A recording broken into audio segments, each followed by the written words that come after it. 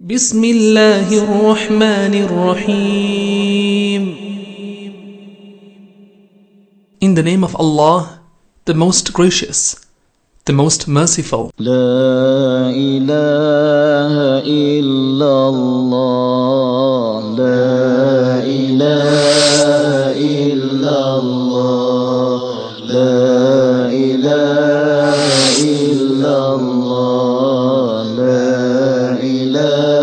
إلا الله لا إله إلا الله لا إله إلا.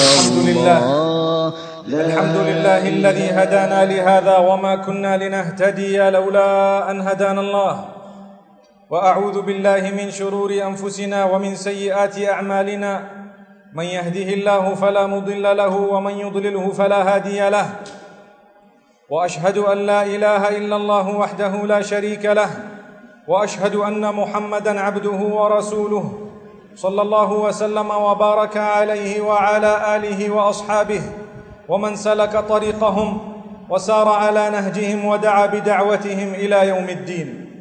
أما بعد فاتقوا الله عباد الله واتقوا يوما ترجعون فيه إلى الله ثم توفى كل نفس ما كسبت وهم لا يظلمون.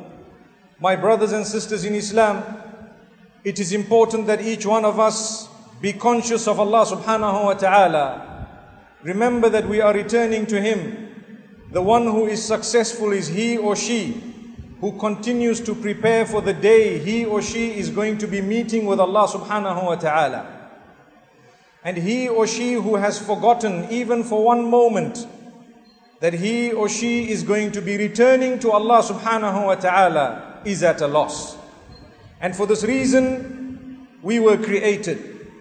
We were created in order to worship Allah subhanahu wa ta'ala, the one who made us, so that when we return to Him, we find a beautiful abode that we shall be dwelling in forever and ever. Allah subhanahu wa ta'ala has made this clear. He states, وَمَا خَلَقْتُ الْجِنَّ وَالْإِنسَ إِلَّا لِيَعْبُدُونَ I have not created mankind or jinkind except for the reason that they worship me. Every one of us wants to be protected from the devil. Every one of us wants to see goodness in our children. Each one of us wants good health. We would love to earn enough to lead a comfortable life. Every single one of us wants to have a good spouse and lovely children and to live in a nice neighborhood. And each one of us would love to have running tap water and beautiful electricity with air conditioning. Each one of us wants to create ease for ourselves. So, where in the teachings of Muhammad sallallahu alaihi wasallam do we find that an ingredient has been made mention of where we can also earn what we are looking for in this world?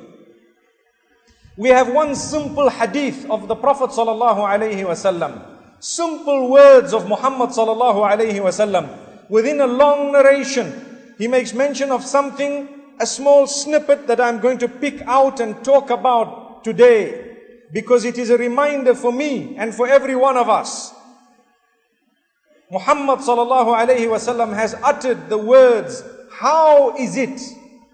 Meaning he has mentioned to us how it is to earn the assistance of our own maker. If I want his help, what should I do? So he says, كان الله في عون العبد ما كان العبد في عون أخيه. Allah continues to be in the assistance of his worshipper for as long as that worshipper is continuing to be in the assistance of his fellow brother or another. We need to understand this very clearly.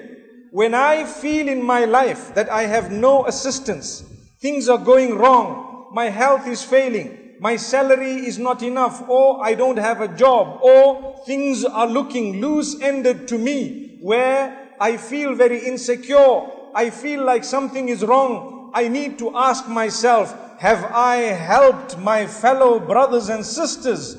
If I have not, how can I expect the help of Allah subhanahu wa ta'ala? Every one of us should ask himself or herself, Have we given out a small charity today before we came to this Friday prayer? Or do we have the intention of giving out even a very small charity as we depart from this beautiful house of Allah subhanahu wa ta'ala? One might say, well, I don't have money.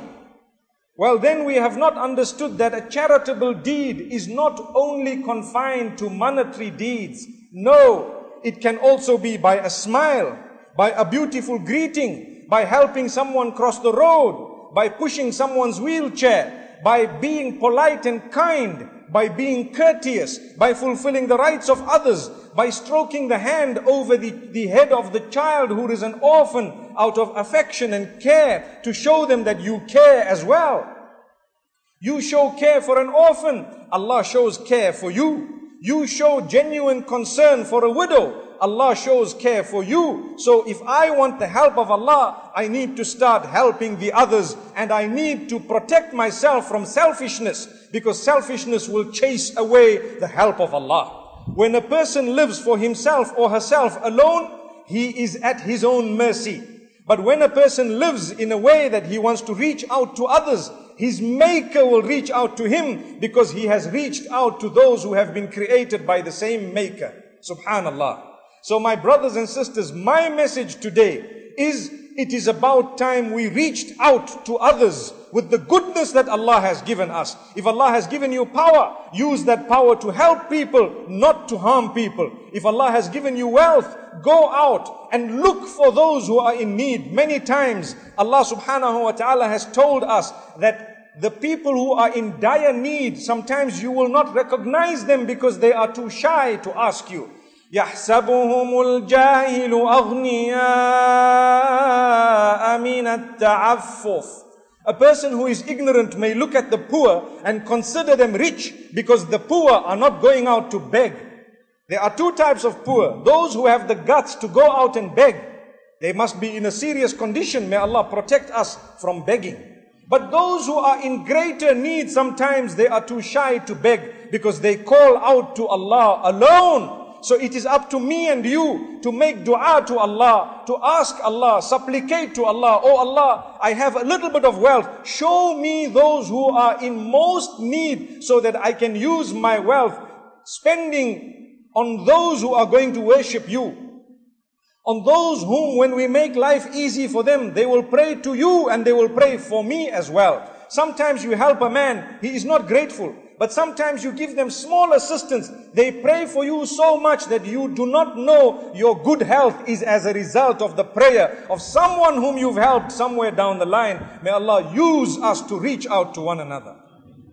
My visit to this beautiful country of Nigeria is also connected to the fact that I felt I needed to meet my brothers and sisters. And I needed to share the good message of the deen. We have a religion of peace. We promote tolerance. We promote goodness. We promote peace. And we promote assisting one another, reaching out even to those who do not share the same belief.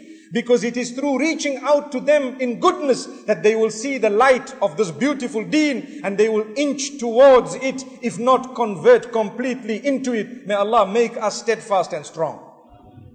So my brothers and sisters, if you have been given a little bit of wealth by Allah subhanahu wa ta'ala, ask yourself, have I reached out to any poor community around my own country to drill a well, to drill a few boreholes in a way that when I die, they will still be extracting the water and I will be receiving the full reward of everything they are achieving and of all the goodness they get. What did I use my wealth for?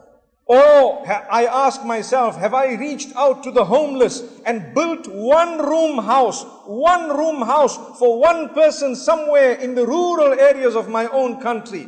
If Allah has given me the wealth and I choose some poor person, some poor family somewhere far away and I have built just quietly one home with one room not something very fancy. You know, in our countries of Africa, the deeper you go into the rural areas, the cheaper it becomes to build. I'm sure it is the same here. So if we go deep in and we can house two or three families quietly between us and Allah, by the will of Allah, He will help us to build that house we need in paradise. May Allah grant us Jannah. Sometimes we lack ideas, but we have a lot of wealth. And sometimes we have a lot of wealth, but because we are eyeing out another property, another car, another gadget, we forget to become charitable, my brothers and sisters. Sometimes a man has millions, and instead of reaching out to people, he is looking at another building which requires more millions. So he is just amassing and amassing. My brothers and sisters, there is no harm in investing. There is no harm in building whatever you can in terms of the dunya. But remember to build your paradise by helping one another. When you reach out to the creatures of Allah, to the fellow human beings, to the Muslimin, and on top of that to your own relatives who might be poor, when you reach out to them in a good way, when you make life easy for them, when you pay school fees for their children, for example, Allah subhanahu wa ta'ala will definitely reach out to you in so many ways. You will have good health, you will have good children, you will have children who may get good results, and you will have people children who will be the coolness of your eyes. Why? Because you reached out to help the children of others. So Allah took care of your own children in the process. Let us not be shallow minded. This is only one hadith of the Prophet wasallam. Imagine reaching out to people. How many of us have reached out to people in order to distribute some form of knowledge? Nowadays you have USB sticks. You can purchase 20 of them. It won't cost you much. You can load them with some good Islamic literature, whether it is audio, whether it is books, whether it is video, and you can distribute them and give them to people who will make use of them, even if it is in the form of a DVD or an audio CD or whatever else it is that is reaching out to our brothers and sisters in order to disseminate and teach the correct Islamic teachings. That is also helping your brothers and sisters. So this religion is so pure that we are sitting here in the house of the Almighty talking about how to reach out to others in a positive way. Now my brothers and sisters, imagine someone who is harming others. If benefiting people will call the help of Allah for ourselves, what do you think harming people will do? So this is why we are taught that if you cannot benefit others, the minimum, do not harm them. If you have not harmed someone, you have already benefited them through the fact that you did not harm them. Amazing. Subhanallah. But that is the bare minimum. However, in order to help people, you will need to know people. In order to know the people, Allah has made the five salah compulsory and He has asked you to come to the masjid. Why did He ask you to come to the masjid? So that you can meet one another, so that you can know one another, so that you can talk to one another, so that you can help one another. Subhanallah. Today, I guarantee you, we are seated in the masjid. If you look at the brothers sitting on either side of you, you will not know each other in most cases. You will not know who this is.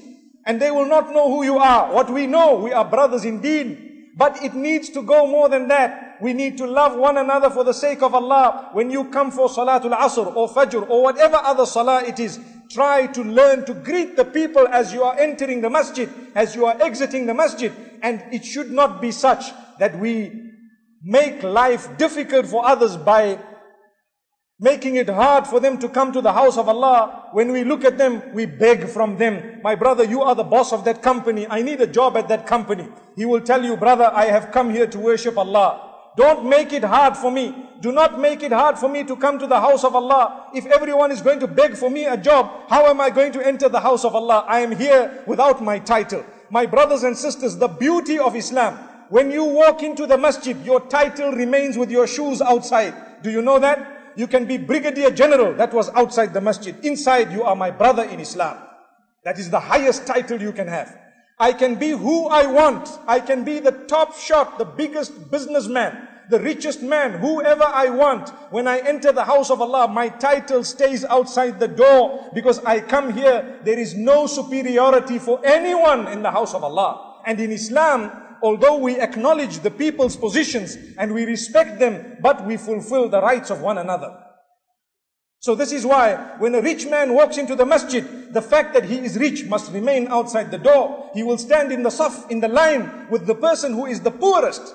And nobody should start talking to the other, making it tough for them to have come into the house of Allah. Sometimes you look at a rich man and a poor man might look at him and say, brother, I just need one million naira. Please, can you save me? He will say, brother, ask Allah. Why are you asking me? I am in the house of Allah. I am begging for my health. Please, can you also beg to him? Perhaps he will help you. Allahu Akbar. My brothers and sisters, this is of importance. We need to know one another in order to be able to help one another. Today, I challenge you to go and figure out who are your relatives. Sometimes the new generations don't even know who are their second order uncles. They will not know because they are living in the city. They have no idea. Have you ever taken them to the rural areas to meet the rest of the families or to the other parts of the country, wherever they may be, to say, let's go and meet them? You should know your uncles, your aunts, your grandparents and your second order grandparents and so on. The relatives from either side know them in order to smile when you greet them and to know that you are part of one family. If there is anything they need, they should be free to request you before they go to others because you are their family. This is why it is a greater reward to help family members who are in need, although it is a great reward to help anyone. May Allah subhanahu wa ta'ala bless us. My brothers and sisters, as you have heard, my message today is to reach out to one another, to get to know one another, to greet one another, to smile at one another, to create ease whether you are driving, no matter what you are doing. Some people are not courteous on the roads. But subhanallah, as a Muslim, it must be known that we are the most courteous on the roads. We are the ones who fulfill the rules of the road because we want to see everything operating properly. If we don't, then there will be chaos and we will be the cause. May Allah subhanahu wa ta'ala grant us every form of goodness. This is the short message that I have. أقول قولي هذا وأستغفر الله لي ولكم ولسائر المسلمين فاستغفروه إنه هو الغفور الرحيم.